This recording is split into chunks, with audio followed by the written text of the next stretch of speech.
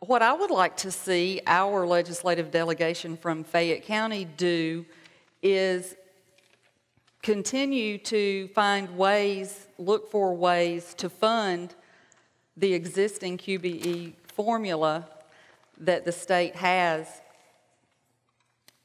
for, that- to fund their portion of our school system. I'm sure you've heard of the amended formula adjustment and the austerity cuts and the Quality Basic Education Act funding formula since 2003. The state has, and I understand that the state has revenue shortfalls as well, but the, um, there have been cuts to that formula that are just deducted from our formula earnings. And from 2003 to 2012, those have totaled over $75 million in cuts just to Fayette County. Last year, it was uh, right around 15 million.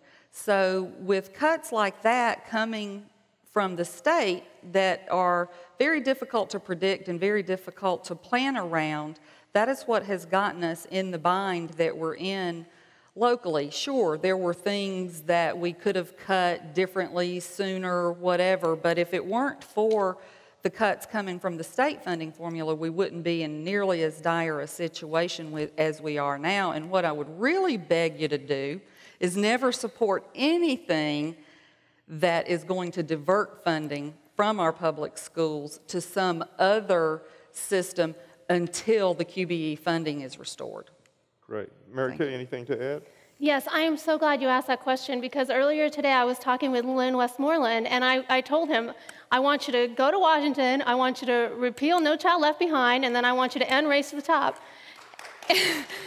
and he, I don't think he's going to be able to do those things, but you, on the other hand, are in a position where you, where you can, for our state, um, not take the Race to Top funding. Why? Because it's only $80 a student, but for that $80 we're getting in Race to the Top funding per student, we are having to change our entire curriculum. We are having to redo all of, all of our assessments, and those assessments are not coming from our state. Those assessments are coming from Washington, D.C. And I don't think we, I don't think there are answers in Washington, D.C. I think our answers are right here. So I would say take that race to the top, and actually Fayette County has done well in not, not being a pilot uh, county for the race to the top uh, um, evaluation system. But it's coming, and I see it in all the other counties because I go out and I, I observe teachers in all the other counties. It will cripple us. It's not worth $80 a student to have that. So please, send the, we'll stand with Texas, we'll stand with Vermont, send the money back. All right, thank you.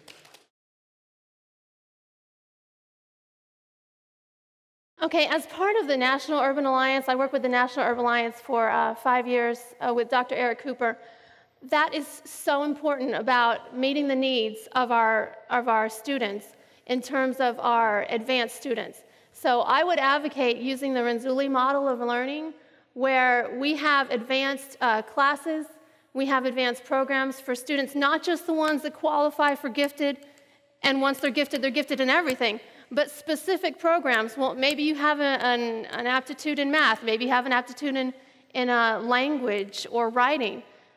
We need to challenge those students because if we're just going to go with the race to the top money and, and do whatever the federal government tells us to do, then we're not going to be challenging our students at their individual level. So I, I would support the expansion of advanced uh, education, uh, including expanding advanced placement courses, expanding gifted education. There are more kids out there that we can get into those gifted programs in their specific subject areas. Okay, thank you. Terri, anything? Your first question was why hire me, and I would have to go back to the experience and um, what I bring, what I take out of the county in terms of being an ambassador for the county around the state and the work that I do at the state level with the Georgia School Boards Association. But, and with regard to your specific question about enrichment, that is one of the issues that I think we all recognize. Um, there's more that we could do for the advanced students, and it comes back to not a lack of willingness or a lack of desire or lack of understanding the problem, but it comes down again to funding and what kind of programs you can offer because I too have children who um, qualified for enrichment programs. And what I found when I started looking at school system budgeting that was unacceptable to me is oftentimes to offer those children what we think they should have, some other child has to make some sort of sacrifice for it. And that's not right. If, if the extra enrichment classes for a gifted child mean larger class sizes for a non gifted child, if we're having to make other children make sacrifices to those programs, that's something that I really can't, um, in good conscience, support. If there is additional funding for the enrichment program, uh, there's, there's really no limit to what I would like to see them be able to do. One example is the College and Career Academy, which is not just a career academy and a job training program, but an opportunity for the faster, brighter students to be able to do things, uh, more things at the college level and take more advanced courses at that level. That doesn't really answer your question with regard to the whole spectrum of um, first, second grade through 12th grade for gifted, but yes, I, believe, I agree that we need to offer them more. All right, thank you. When we How- can. how- wait, Could I we- We'll, we'll follow- get some other could I follow questions. up? No, we want to continue to, to, Okay. to go on with the next question. Good to see you again. Were you at the meeting last night? I thought you were. Um, I have supported the superintendent's recommendation to uh, look at consolidating some schools because we do save some overhead costs by doing that in, in terms of administration. It, it's my opinion that it's a drop in the bucket to the overall uh, budget shortfall that we're facing. It's not going to solve the problem. It's one tiny piece of the puzzle. I think it should be done in a manner that is um, least disruptive. I don't think students should be moved for the sake of balancing enrollment between two schools or anything like that. I think it should be done if we, if we close schools and consolidate. I think, especially at the middle school level, which I assume that's what you're talking about because that's um, what we were talking about last night. Um, obviously, I think the feeder patterns for the high schools and the middle schools, it, it makes good sense to align those as much as possible so that you don't create feeder orphans from the middle school to the high school level if we close a middle school. But I, I don't, I don't support moving anybody you don't have to move to make that happen. Did that answer your question? All right, Mary Kay? Under the current system, parents choose to buy a house in a community where they want their children to attend school. There is an unwritten assumption between the parents and the school board that this is the case. If I am elected, I will honor these choices. Many of those choices came with a 30 year mortgage. With each redistricting, we lose more students. Parents don't want the educational fate of their children to be decided by five people who don't get along. There is a cost to instability, and Fayette County has been paying that cost. If I take office in January, the instability will come to an end, and we will work together to make sure that these levels of instability and uncertainty are a thing of the past. I believe that one person who has decided to honor the choices parents make, keep the best interest of the taxpayers in mind, and honor our great teachers can make a difference. I will treat you the way I would want to be treated. Very good, thank you. Let's get a question from this side of the room again.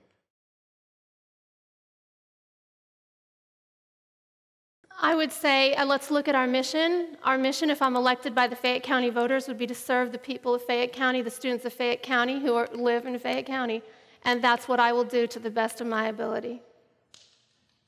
Thank you. Terri? I don't disagree with what she said, and up until last year, I would have I've consistently opposed the idea of allowing um, out-of-county students in um, on a tuition basis because I felt like it would be too difficult to handle administratively. In the meantime, though, I have talked to uh, school board members from around the state from systems that where they do allow it, and had some of my questions answered and some of my concerns relieved by that. I don't think we should do it unless we, we can do it in a way that actually creates a positive cash flow, generates revenue, and does not create an additional burden on our existing students or teachers. It absolutely shouldn't be allowed to overcrowd classrooms. I think it's something that's worth exploring at this point because of our declining enrollment and because there's so much emotion around the idea of consolidating and closing schools and redistricting students. It seems like to me that it's worth exploring the possibility of that's a lot of qualifications and I know but I just want to say that I would I would not support it in every form. Uh, we would have to be very, very careful how we implemented it. But if we could backfill some of these um, undercapacity classrooms with students in a way that makes it more affordable for us to hire more teachers and generate some revenue, I see that as a way to minimize this idea of having to close schools and redistrict students. And we would completely control um, if a student came into the system that wasn't an asset to the system, then we, they wouldn't be readmitted in the future, is the way I would see that working if, if we did it. Okay, thank you. We had another question right here near the front.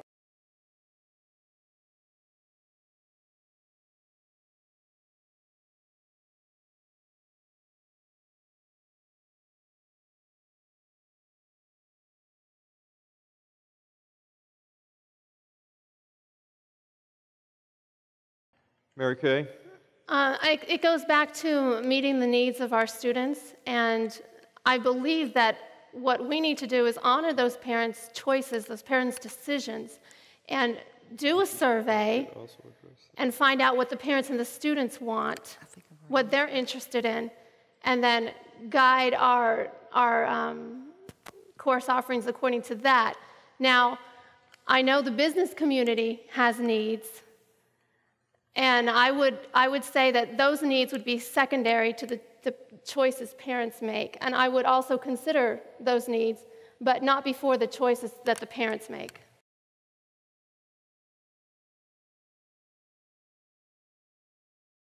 Why are y'all picking on Mary Kay? Okay, ahead, I will Kay. take a stand. I'm going to take a stand, and I thought I just did.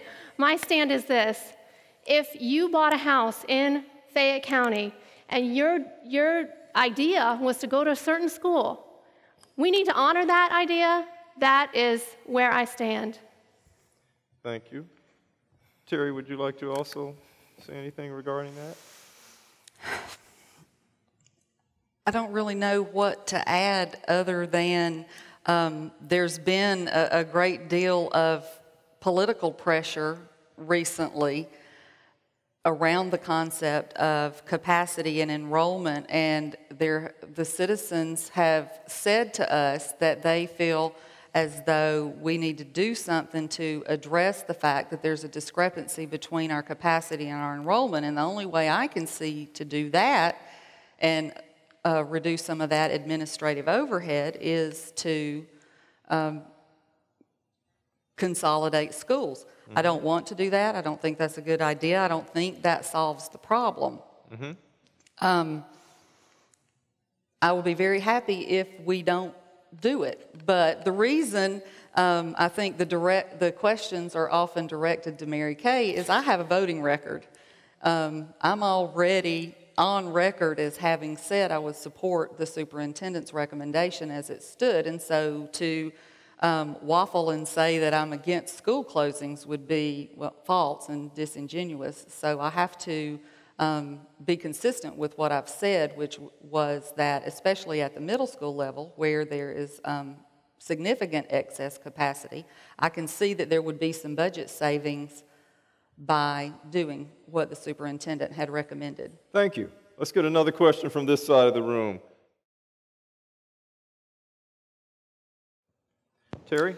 Ooh, um, budget saving we'll options that I support. I'll, I'll tell you that we've been, since our first austerity cuts, we've all, every year, I've, let me back up a little bit. Every year that I've been on the board, every report from a financial director that I've ever heard, including, I've just recognized Jim Stevens sitting in the, um, the audience was that it's going to be a lean budget year. We're not going to have the money we've had in the past. We're going to have to cut. We're going to have to tighten our belts. And that's what And, and I sort of got a, maybe a little bit jaded with these finance directors, the sky is always falling. And then in 2008, the sky fell.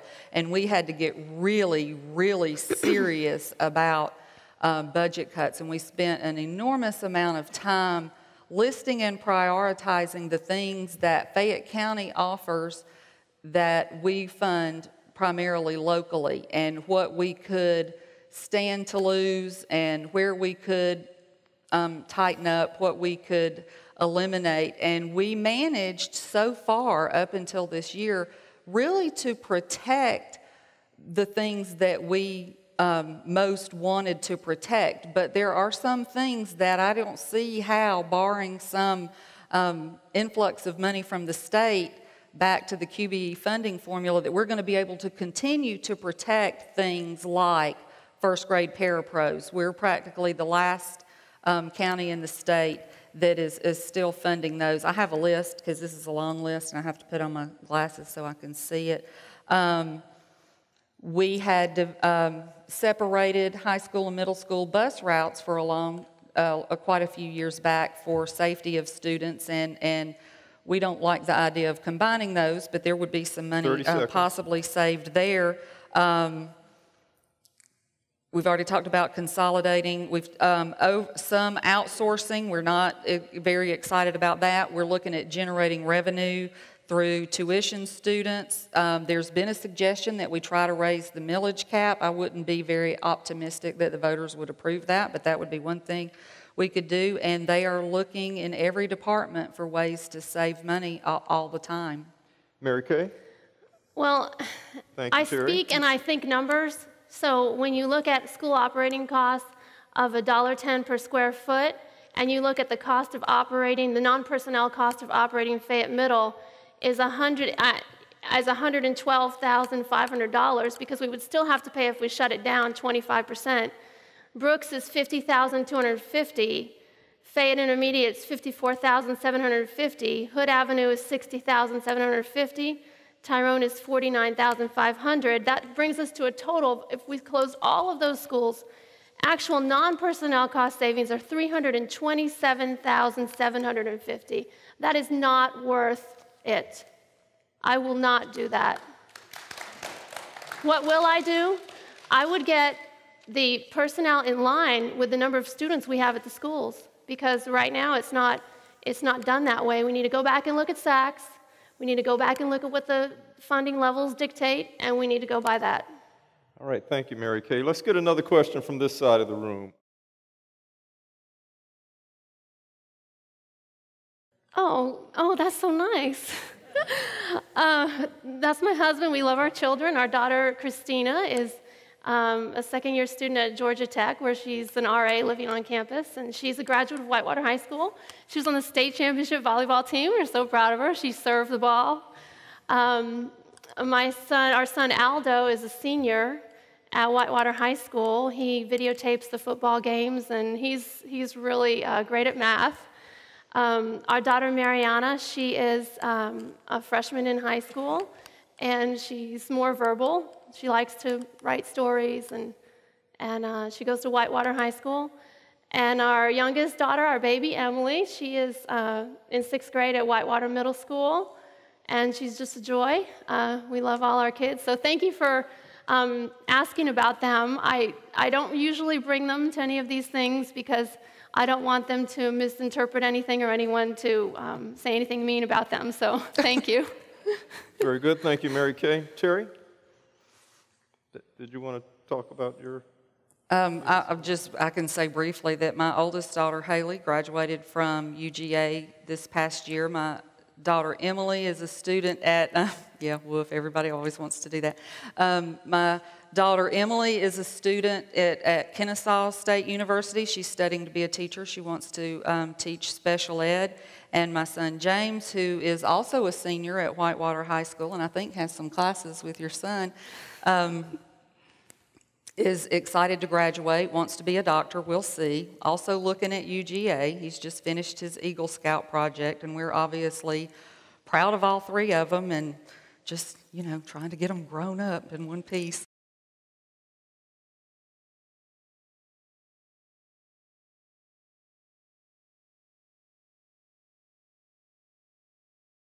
That's a good question, and thank you for asking for a clarification. I don't see those, my, the context of the question about enrichment was different and had to do with class sizes and staffing and the expenses that go into um, staffing those enrichment programs and keeping those, building those in a bigger way. I don't think that students should have to change if they change schools, they should lose those opportunities but I, that they have in other schools. I think those opportunities should be available to them in all the schools. I think that the opportunities that are available to a student at McIntosh should also be available to a student at Sandy Creek. And if they aren't, it- you know, the, your example, um, I think that's something that has to be addressed as a part of this redistricting.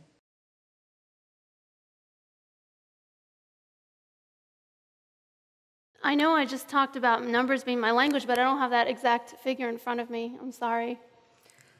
I know it's gone up. I do have a nice chart.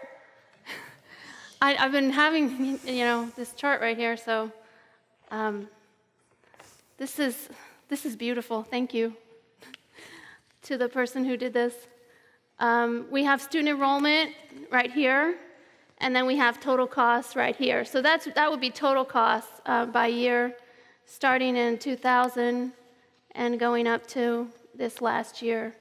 So in general terms, that's what it looks like. Um, here is says between 25 and 30,000. No. No. Oh, Can- I'm sorry. I should read the chart before I show it to you. Can I Well, address the well, we're- answer? We're just about out of time. I'll allow Sorry. you all to come up right after and, and This is speak- a great chart. Speak to Mary Kay specifically, but go ahead, Terri. Um, The information that you're, that you're asking for is available on the Georgia Department of Education website, and uh, I actually have several spreadsheets and things where I have been tracking that data over a number of years. The per pupil, the pure, the per FTE expenditure has been in the neighborhood of $8,000, sometimes a little more, sometimes a little less. There are quite a few things that go into um, increasing costs per pupil. Some of it has to do with utility costs, um, fuel costs, transportation costs, those kinds of things that have been rising over time. Uh, I- Let me qualify this by saying, I don't think teacher salaries have risen as much as they should, but there has been an increase in teacher salary over time, a- and Fayette County enjoys an increasing what they call T and E factor, which is the training and experience factor, which is that our um, teachers stay for a long time and earn additional degrees, and so they go up on the pay scale over time, and then the, you know, the occasional raises from the state. Benefit costs have increased dramatically, especially for our classified personnel, that's the non-certificated personnel. Uh, Their employee benefits are funded um, in a, in a separate system from the ones with the teacher, and those costs have gone up significantly. Another thing that Fayette County did uh, many years ago, I don't remember if it was like 2002 or 2003, some of the people who were here then, we had not participated, our teachers had not participated in the Social Security program because of the teacher retirement system. I'm sorry, we joined, um, we allowed our employees to do that at their request. We started participating in Social Security. And that started out as something that cost us, um, whichever year we started it, about $3 million that year. But that cost has escalated to the tune of over $8 million a year now. And so there are a, a variety of factors, some within our control, some outside our control, that have uh, made those costs go up. All right, thank you very much. We don't have any time for any more questions, but I'm sure our candidates are going to stay here, uh, and, and we'll be more than happy to talk to any of you all who want to ask them specific questions. So, Virginia, go ahead. I want to thank everyone again for the outstanding job, these two great candidates, and what a great audience. Also, Julius, thank you so much for, for moderating um, to both, both of our candidates and also to the audience. Um, thank you for being here. This is critically important. Um, thank you for being willing to serve, and thank you for your interest in the process. Um, we do stand adjourned. Um, I believe that both candidates will be here and available if you have specific questions, and you're welcome to linger. Um, one note I know there have been some handouts passed out. Um, just a point of clarification um, I believe some, some folks have, have done that of their own um, from the chambers and certainly our, our overarching goal was to make this a, uh, a, a, a non biased and non uh, advocacy position. So thank you again for being here, and uh, we'll see you next time.